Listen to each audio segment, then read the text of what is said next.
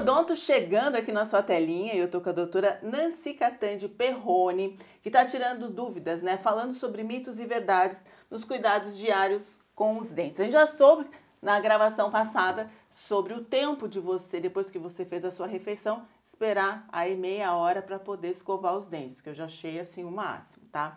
Mas hoje a gente vai falar de outros assuntos, também tirando aí as dúvidas, né? Primeiramente, escovar os dentes antes de dormir é importante, doutora? É, escovar os dentes antes de dormir é importantíssimo. Porque, na verdade, a gente escova de manhã, porque a gente acorda lá, né, uma, a, a salivação alterou durante a noite.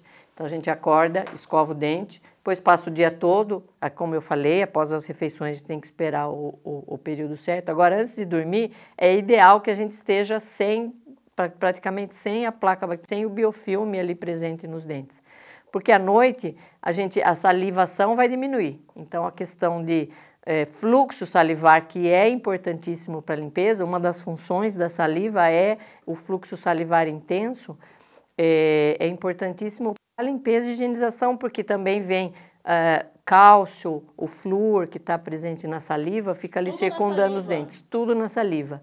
E aí o que acontece? Se a gente for dormir com alimento, com aquele biofilme ali nos dentes, então as bactérias vão ter uma ação muito mais, é, muito maior, uhum. né? Porque você está com o biofilme presente ali, o fluxo salivar diminuído e aí a ação das bactérias vai ser maior. Então, antes de dormir, é essencial que tenha essa escovação, uma escovação, inclusive, a escovação que a gente é, pede para os pacientes que seja uma escovação mais detalhada, um fio dental mais com maior detalhes, é antes de dormir. Uhum. Vamos falar do fio dental. O fio dental é para tirar alimentos que acumulam entre os dentes? É, então, na verdade, é, popularmente, assim, né, ficou que o fio dental é exclusivamente para tirar fiapo de carne, fiapo de alimentos que grudam, que aderem ali nos dentes, tem os espaços entre os dentes um pouquinho maior e acaba, e acaba enroscando o alimento, principalmente os fibrosos. Então, o que acontece? Mas o fio dental não é só para isso. O fio dental, a gente teria que trabalhar com ele num formato subgengival, que a gente chama, porque a gente tem as papilas interdentais, são essas pontinhas que a gente, de gengiva que a gente tem entre os dentes. E ali a gente tem uns 2 ou 3 milímetros ali para a bactéria acumular ali. E as bactérias que causam doença periodontal, elas são bactérias que a gente chama anaeróbicas, são bactérias que elas não podem ir com oxigênio. Então elas vão aderir naquele espaço entre os dentes, nas papilas, embaixo das papilas que a gente chama. E ali é onde dá doença bem periodontal, bem, embaixo, bem entre é, a papila é como se fosse a unha, assim, né? A gente tem um espacinho. Por mais curtinha que a gente deixa a unha, a gente tem um espacinho ah, ali. Bem aqui no cantinho. Bem a margem, a gente chama de margem gengival no cantinho, no contorno da, da, no da contorno. gengiva, a gente tem o que a gente chama suco gengival. Então, a gente tem no meio do dente e a gente tem nas papilas entre os dentes. A gente tem dois ou três milímetros ali de gengiva que não está inserida, grudada no dente, e ali é que as bactérias preferem ficar. Então, ali juntam bactérias que tanto inflamam a gengiva, que a gengiva não é, não é para sangrar, ela não é para ser vermelha, é para ela ser rosada.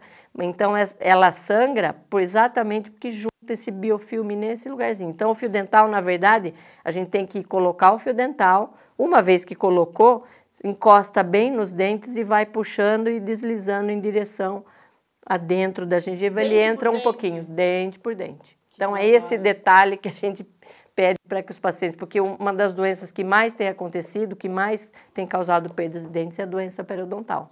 E essas bactérias que causam doença periodontal, elas juntam exatamente uma vez por uma dia. vez por dia. Se você fizer o fio dental para tirar alimento, tudo bem, várias outras vezes no dia, mas uma vez por dia, você teria que detalhar bem esse espacinho aí interdental aí. Então fica essa, essa questão, né? O fio dental é só para tirar alimentos dos dentes? Não, é para fazer essa higiene que, como a gente falou da outra vez, não o, o, o enxaguante não chega e não, não elimina esse biofilme que está ali.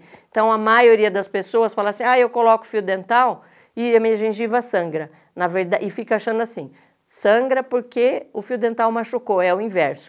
A gengiva sangra porque não detalhou com o fio dental desse jeito, a gengiva fica inflamadinha, então todas as vezes que vai usar o fio dental sangra. Esse sangramento é em função de processo inflamatório que está ali por causa da presença desse biofilme. E ah, não então, que o fio quando, dental machucou. Quando sangra é porque já tem um processo inflamatório. É porque já tem um processo inflamatório. O ideal é que a gengiva não sangre. Então, a, a gente sempre instrui: quanto mais a gengiva sangra, mais você passa o fio dental. E o inverso, né? A gente acha que, ah, sangrou, não vou mais passar o fio dental. Aí o processo aumenta, o sangramento aumenta mais ainda. Então, sangrou, passa o fio dental desse jeitinho, mais detalhado, que o sangramento desaparece. Fio ou fita? Independe. O fio, o fio ou fita é mais adaptação da pessoa. Quem tem os dentes muito juntinhos, muito grudadinhos, dá preferência à fita.